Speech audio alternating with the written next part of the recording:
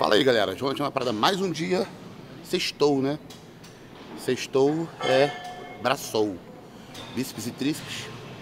E hoje trazer uma série não diferente do canal, mas né, eu nunca faço a mesma sequência. Fazer um bíceps, um tríceps, para manter aquele pump. E hoje treino família hoje. Né? Eu tô aqui, tá ali, ó, já fazendo o seu aquecimento. O famoso nego. Eu sempre cito ele em podcast, em vídeo, conversando com amigos, algumas questões, porque a gente tem uma história muito longa dentro do treinamento, dentro da minha carreira como atleta também, né? Eu até digo que o Nego, ele ele, ele, ele forçou ser meu amigo, né? Porque não era para ser, porque ele foi bem maltratado na, na jornada, né? Quando eu estava começando ali a minha carreira, mais ou menos, no esporte, o Nego era um garoto ainda, acho que estava com uns 16 anos, mais ou menos, 15. Acho que por aí, né?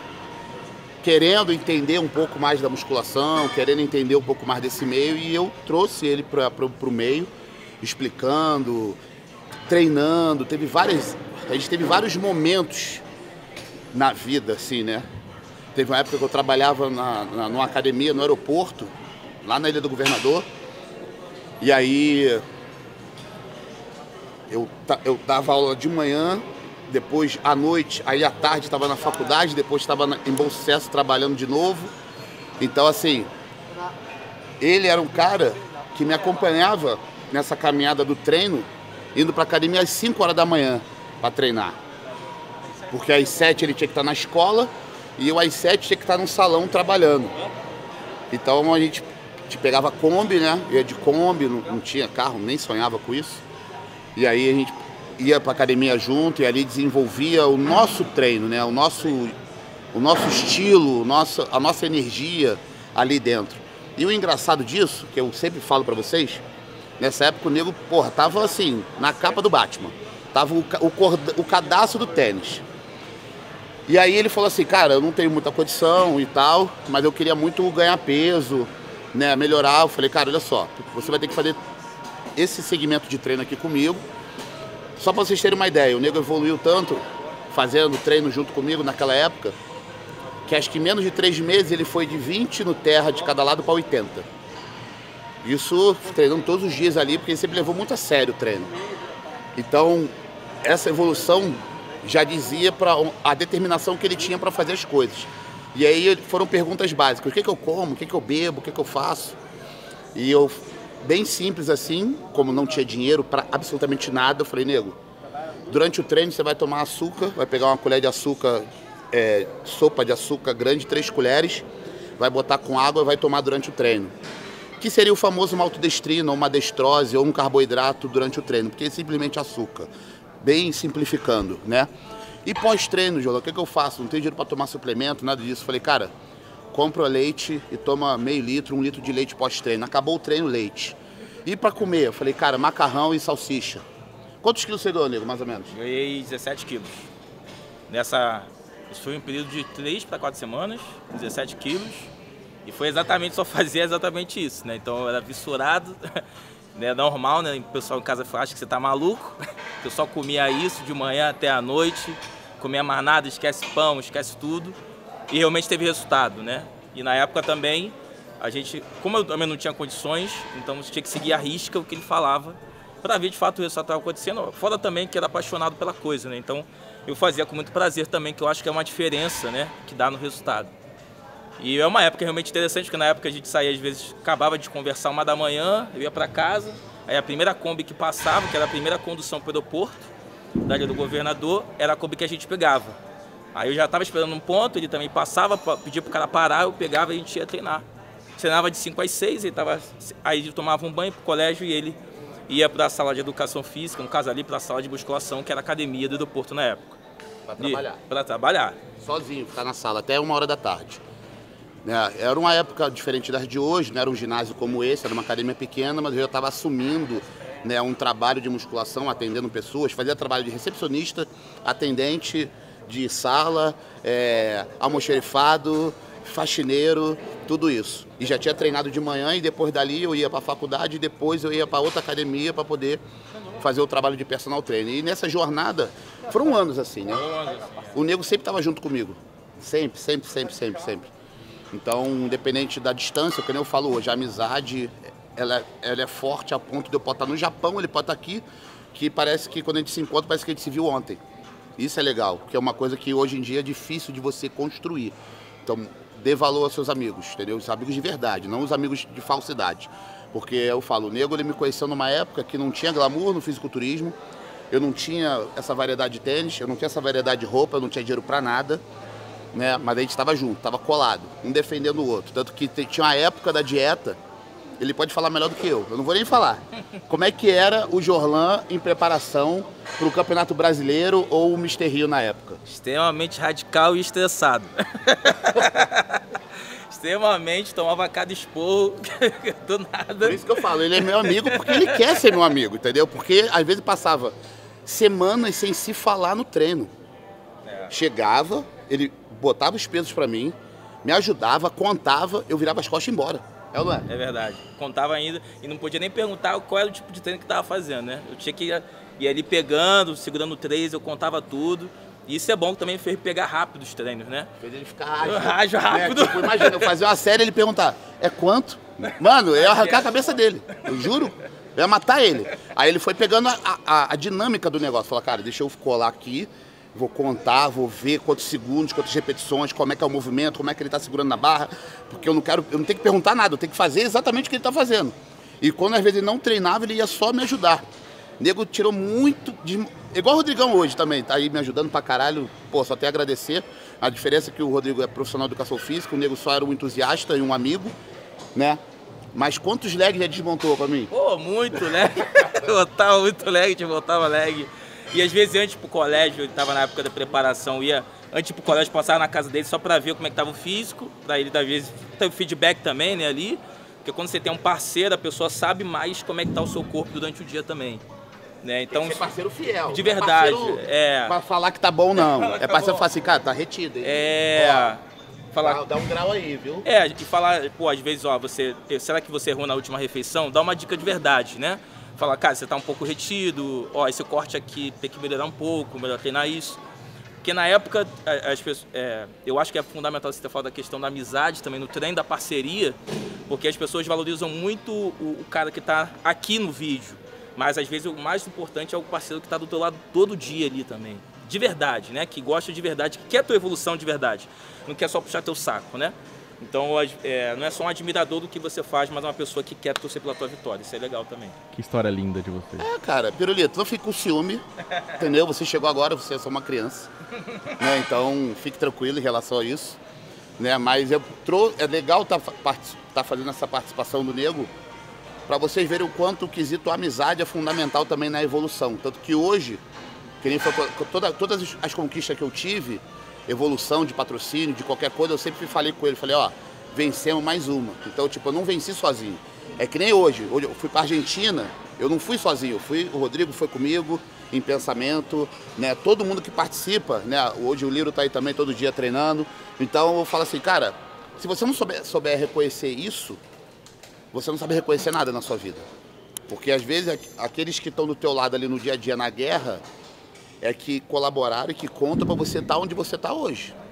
Então, às vezes, muito mais do que o que está na mídia é o que está por trás dela. É que assim, a gente não passa muito tempo sem se falar, mas nem todo mundo está vendo o que, tá, que a gente está conversando. Nem todo mundo está vendo o que a gente está se falando. Mas quando a gente está aqui, estamos treinando, estamos tá, tá, lá em casa, né? Brasília que tu não foi ainda, né? Não, eu cheguei, aí, foi? eu cheguei aí em Brasília quando você morava lá. Mas tu foi no primeiro apartamento, não no segundo. Não no segundo, é, fui no primeiro. É, tá devendo essa visita, mas isso aí é outra conversa, né? Tem que ir lá no segundo apartamento também. Mas enfim, então é bom isso e é mais ainda a gente ainda manter a mesma dinâmica de treino, a mesma cumplicidade, a mesma interação, porque parece que ainda tenho 15 anos, né? Como é que é, Lego? Ficar lá na minha casa, é o que, que tem na televisão? bodybuilder a vida toda. é a primeira vez, assim, ele já era fascinado na época que não tinha YouTube, né? Era só DVD. Ele já era fita, né? Fita, era fita. E aí, na época a gente falava, pô, vamos acabar de treinar, vamos lá em casa assistir as fitas. Eu era adolescente, tinha 15 anos. A minha mãe não entendia nada, tá fazendo o quê o dia todo aí, na casa dos outros? Eu tava assistindo vídeo de bodybuilder. É. Aí voltava. É tipo vezes... come, entendeu? É tipo... tipo assim, ó. antes de treinar, passa lá em casa. Aí já passava, já tava rolando um Olímpia, um Dory É. Yates, um bagulho. Aí acabava o treino, vou voltar lá pra casa pra terminar de ver aquela fita e vou botar outra. É, Tipo, é, né? exata- exatamente. Não, e é legal também porque ele, fe- ele fazia isso quando era adolescente, aí a gente amadureceu, se tornamos homens, no caso ele já era um pouco mais velho. E também, quando ele se mudou para Brasília, a primeira vez que eu fui lá visitá-lo, eu cheguei lá no prédio e estava fazendo a mesma coisa, vendo vídeo de bodybuilder. Nada tinha mudado, né? Você pensa que o cara ganhou, o cara vai dar uma esfriada, nada. Fascinado, já tinha visto o mesmo vídeo 20 vezes na época que era só DVD. Aí, continuou vendo quando era YouTube. Em São Paulo, a vez que fui visitar, a mesma coisa, vendo vídeo bodybuilding, né? O que é legal também, que eu acho muito bacana, é que é, ele manteve a paixão pelo esporte desde novo. E eu pude acompanhar isso vendo, não só ouvindo falar. O mesmo entusiasmo, mesma empolgação, mesma paixão pelo treino. Porque faz diferença quando você gosta de treinar, ou quando você encontra um significado maior no treino. Né? Para mim, eu tenho um significado muito parecido, porque eu acho que o treino é muito semelhante à vida. Então, quando você vence no treino, você vence na vida. Você começa a, a se questionar, pô, por que eu não posso vencer essa que eu tenho dificuldade? Eu venci no treino. Então, a gente tinha muito isso, né? Fora que isso também é, um- é uma, uma, uma forma de você criar alianças, laços de verdade. Pessoas que você vai construir uma amizade ao longo da vida, né? Porque a gente está aqui hoje mostrando isso também para você. Não, e, e legal que assim, o Nego sempre foi questionado, né? Por que você não é fisiculturista? Você é amigo do Jolan, por que, que ele não te treina, você não sobe no palco e cresce, sei lá, fica grandão?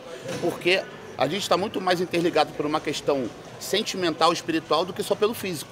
Porque independente do físico de cada um, a gente tem a mesma conexão, a mesma vibe.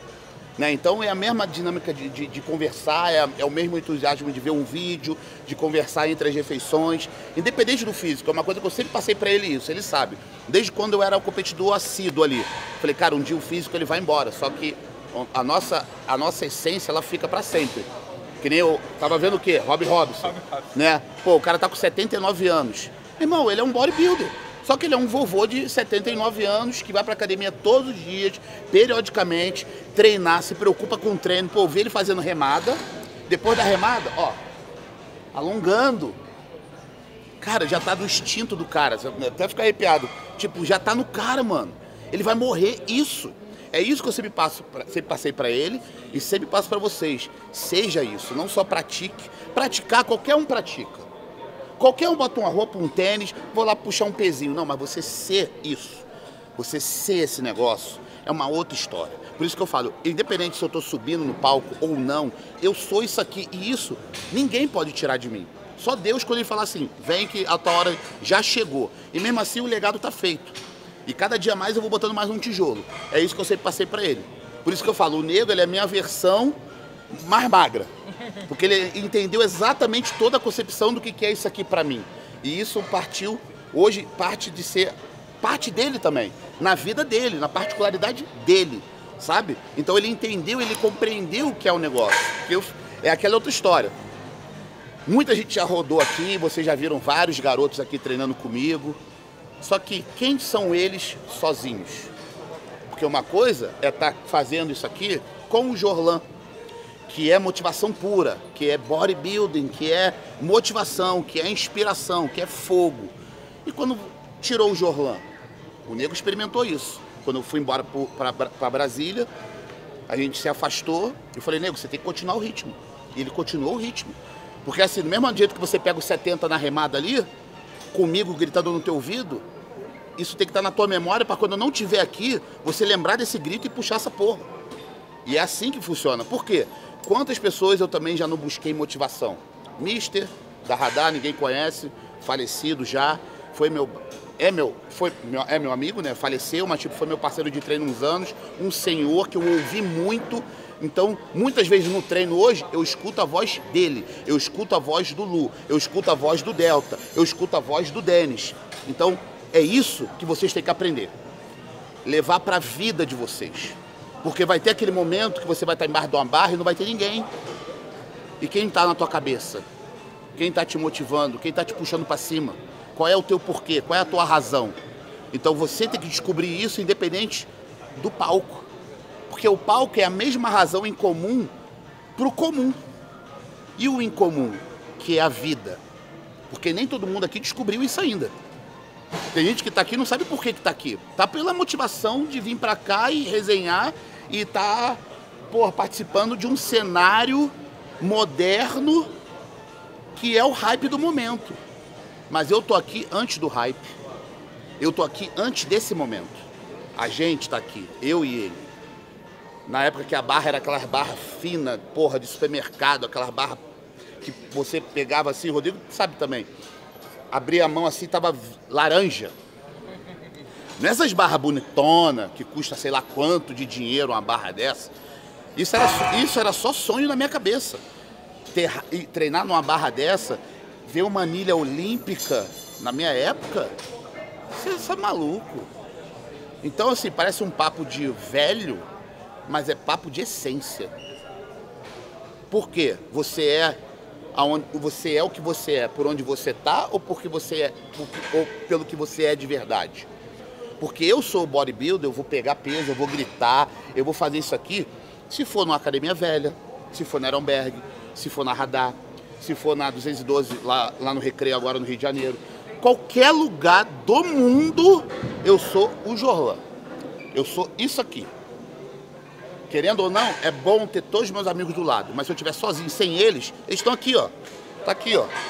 E eu vou estar tá lá honrando eles também. É isso outra coisa que vocês têm que entender.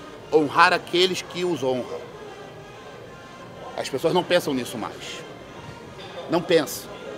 Isso é uma coisa, isso é uma coisa muito de velho. Só quem vai entender é mais a gente aqui que é mais antigo. Que é questão de honra. Entendeu? Você tem, você tem uma responsabilidade de estar do lado de alguém que tem, porra, uma, uma, um, um porquê maior. Que nem, porra, eu treino com o Deligens. Não vou nem falar do Deligens que é o nível A, mas, porra, eu fui aluno do Lu. Porra, eu, eu, sou amigo do Delta. Ah, quem são esses caras? Meu irmão, se, de repente para você pode não ser ninguém, não significar nada, mas para mim significa muito. Então, quem é que significa para você? Você entende isso? Não é o hype. Esquece o hype, esquece a mídia. Se acabasse o YouTube hoje, você é o quê? O que, que, te, o que, que resta para você? Você entendeu? Então, vai muito mais além do que uma tela, um stream e, porra, seguidor rolando, curtida e gente falando. Quero saber, mano. Quero saber se a tua vida tá mudando, se você tá melhorando. Porque na verdade ninguém tá nem aí pra isso, não. Entendeu? Por isso que a gente está conectado até hoje, porque a vida dele me importa e a minha vida importa para ele. Isso é amizade, isso aqui é de verdade, é outra história. Não é hype.